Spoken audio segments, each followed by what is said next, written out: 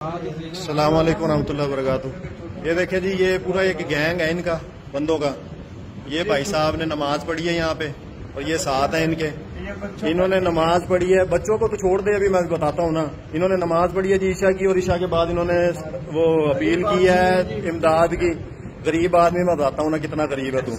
हाँ। इसने जनाब अपील की है कि इसको पता नहीं कितने अरसे से बुखार है, इसके मालिक मकान को इसने देना है बारह हज़ार रुपये तो वो उसको बाहर निकाल रहा है। हमने हम बैठे रहे हैं।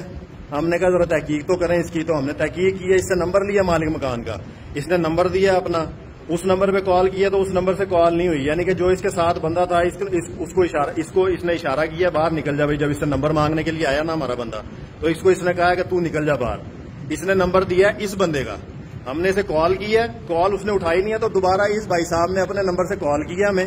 कि जी मैं मालिक मकान बोल रहा हूँ तो इसने इसके बारह हज़ार रुपए देने तो मैं तो उसे घर से घर से निकालने लगा हूँ।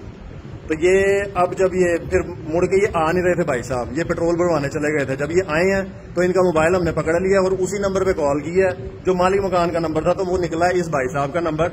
और ये देख लें, ये फ्रॉड करते हैं। मासूम लोग नमाज़ पढ़ने के लिए आते हैं, यहाँ पे अपने अल्लाह को राज़ी करने के लिए आते हैं। और इस तरह के बगैरत लोग जो हैं, वो ये हरकतें करते हैं मस्जिदों में आके।